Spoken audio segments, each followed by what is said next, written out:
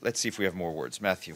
All right. One, I, I, to, to go to policy for a moment, uh, the, on what, your, the Western Sahara statement yesterday, I wanted to, it, it, it, two questions. Is the Secretary General aware of a plan by the King of Morocco to actually visit uh, Western Sahara on November 6th, which many people, some people call it a provocation, some people say it's totally within his rights, but it would be an I've, event. I've seen those press reports. and is this, is the statement in some way related to that? What, what's his message to the King of Morocco in terms of actually I think the, the message to, to the, you know, the message to, to the parties, I think is, is very much in the, in the message. Right. It's not a statement to the King of Morocco or to the Frente Polisario.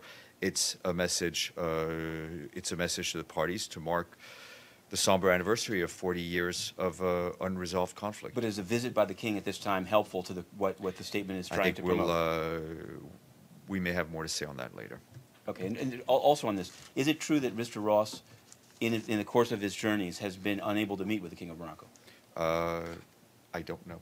I will see when his last time. And have you heard about the, Ken, the case at the UN in Nairobi of the uh, legal staffer who's charged with Yeah. domestic battery? So uh, what I wanted to know is, one, do you have any kind of statement about the action? But when did UNEP know about this incident, I and what's it going to do? I think you would have to ask uh, UNEP. I think they put out a press release. Obviously, anyone who is being charged for this sort of uh, of crime uh, does not benefit for any any sort of uh, of immunity. So we hope that uh, the justice system runs its course.